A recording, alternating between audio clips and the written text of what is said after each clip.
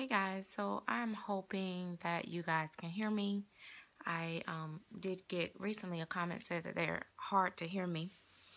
Um, I just wanted to come on and um, talk about um, some of the misconceptions with silicone babies and just, I guess, I don't know, just a chat.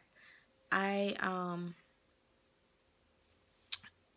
honestly, um, you guys know I'm definitely leaning more towards silicone babies, but I still love my reborns. And um, I've always been, you know, kind of a little bit more into um, the silicone babies, but, um, you know, until you get that one that just, you know, you get the right ones that just really, really make your heart sing. You you you may you know feel different about them.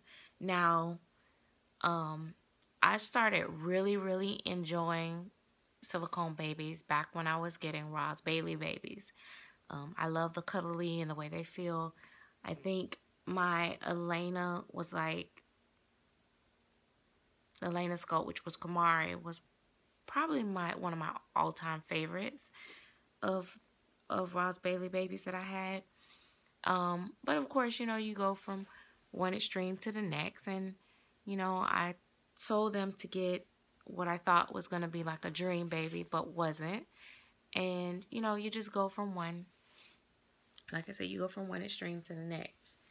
And I want to get her dressed, but I don't know. Maybe I'll just feed her first. But um, it's a lot of misconceptions about silicone babies. And um, the problem is, is that a lot of people that speak on it are people that don't even own them or never own them or have had bad experience, uh, experiences with them. You know, the, the huge thing that I hear all the time that really drives me insane is the the main thing that kind of like made me feel like I don't know if I ever want to get a silicone baby when I was first um, into reborns because I was like, that's way too much money to have to tiptoe around, you know, the doll or um, everything's going to stick to it and all that stuff. And I know I've said this in tons and tons of videos, but the topic came up again and it just made me want to talk about it again. Um, I have had dolls that, you know, needed to be powdered frequently, but the very first um, silicone baby that I had was a partial from Amy Strickland. Was no more than seven under eight hundred dollars, right? Or was it? Yeah, under eight hundred dollars. And this baby, oh,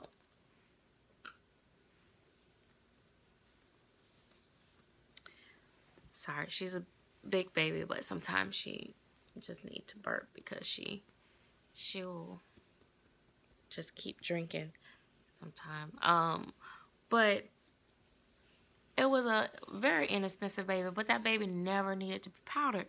And you know everything wasn't sticking to it like people said. So i was thinking like okay well this you know this is different. You know so i was like people are telling people this and this is not so and then i got um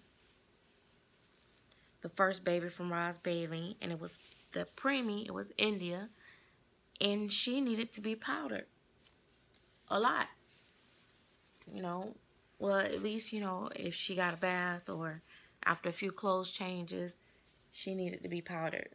So I was like, okay, so maybe they do need to be powdered. But then I got another one from Ross Bailey and it didn't need to be powdered as much. And then one that just barely need to be powdered at all. So it just depends. And then I learned later that it's all dependent. If the doll is matted properly, they don't need to be powdered. Um, I've never put powder on, um, I've never put powder on um,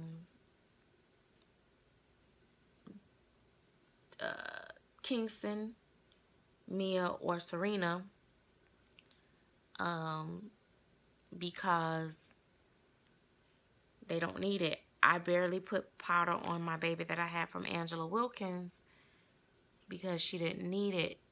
Um, but, I mean, I get it. Some babies do. I don't know if I want to put your pacifier on. You're so cute. But I love her with pacifier, guy. Guys, I prefer a smaller nipple than this. But this, I mean, it's short, but it opens up. It's, the neck of it is small. But she has a wide mouth, so.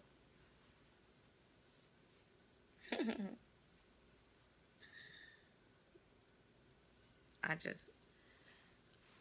But anyway, so. Yeah. So I, I don't, you know, people just. To me, people scare people off from things and then another thing is a lot of them is not even um, people that even have collected silicones before that has these opinions or, you know, it's just drives me insane. Um, and then all the, oh, they're easy to tear and they're hard to dress and, um, it's, yeah, some that are easy to tear. Um, you know, maybe, I guess.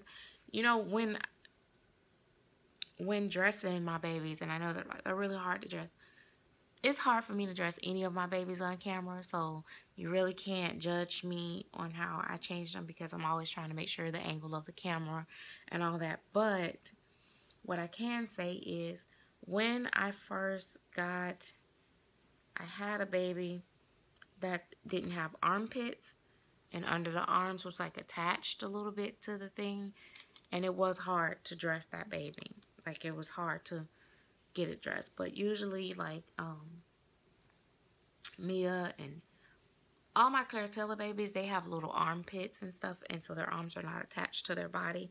So it's easy to get their hands and stuff through their clothes and stuff. I feel really confident with um, changing my Claire babies. I felt confident changing my Roz babies um, because they actually had somewhat of armpits too. Um, well, uh, Indy did.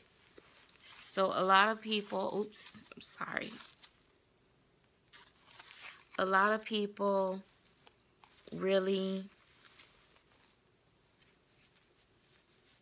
you know, a lot of people think, oh, you know, she's just saying that because she has Claire Taylor dolls or she, whatever. But I've been feeling like, you know, saying the same thing even when I had the other silicone babies. Um, yes, and I'm not going to lie. Um, my Claire Taylor dolls are the best dolls I've ever collected. Yeah, I'm not going to lie. I'm not going to downplay that for other people. But I'm going to be honest. They better be better. They cost more. They should. I mean, hell, if if they wasn't better, there's no way I would try to get another one. You know, and you spend that type of money, and the doll is the same as every other doll. No way. I'm not not saying that that doesn't happen, but I'm saying with me, it would only happen to me once. I wouldn't keep buying them because that would be crazy. So I don't care nothing about you know, I'm a I'm a doll collector and but the thing about me and you guys should know, even with, you know, the way I dress my babies, I'm very simple. Um, I don't care nothing about no name brand. I don't care who made the doll. I don't care about any of that stuff. I care about the quality, the way the doll look, and mostly the way the doll feels. And, you know, I was just as crazy. Well, not just as crazy, but I was, you know, pretty content and happy and in love with my Roz Bailey babies. Um, she got some kind of from her onesie that was pulling. But until I, you know, felt different or seemed different, I was just as content and happy with my Ross Bailey baby. And guess what? If I was to buy another, you know, inexpensive baby, I would love it all the same. You know, I would love it, you know. But I can't lie and say, oh, it's the same as a Claire Taylor doll. That would be stupid, you know. And it's like people want you to downplay your happiness or downplay your collection because, you know, for whatever reasons. But, you know, everything has got to be, oh, she's bragging, she's this, you know. But this is what I always do. And I always mention that, and I thank you guys for telling me that you guys don't see it that way, but I know that some people do, and I just, you know, put it out there. But I'm telling you guys, silicone is not for everybody, just like reborns are not for everybody. Um, some people love them both. I happen to love them both, but I do prefer silicones over reborns, and I'm torn in between you know, having her in the nursery and even like when I had Ja'Cory, I'm really torn on, you know, I, I love partials too. I really love partials. But I get it. I think everybody should experience having a full body silicone too. But I'm telling you, it's like having the, the best of both worlds. I really love having partials because of the posing because I don't know it's just you know mostly because of the posing because right now my full bodies are just as cuddly as she is but I don't know maybe she is a little um but she's just more flexible and more posable I can do more things with her as far as, you know, for pictures and stuff like that, then even with um, Mia has armatures and all that's great and dandy, but she still can't do everything that Serena can do because Serena is a partial. And I think when you have the, the belly plate on a partial and all that, unless you're just cuckoo bananas for taking baths on the babies, and you don't want to do the wash off, I mean, I'm just thrilled that I can take a washcloth to them. You know, if they get something on them or whatever. I mean, to me, I just want to be able to, if if I feel like I need to rinse them off, I can. But, you know, I do enjoy giving them a bath. I'm not going to say I don't when I do give them a bath, but I don't like giving them a bath a whole lot. I think that that was the, one of the main attractions originally when silicones came out, but I don't think that that's my new thing. My main thing was always the pacifier thing and um it was real funny. It was really the pacifier thing because I remember one of my um dolly friends would laugh at me because I would always say, I just want to stick a pacifier in their mouth. Be able to just stick the pacifier in their mouth.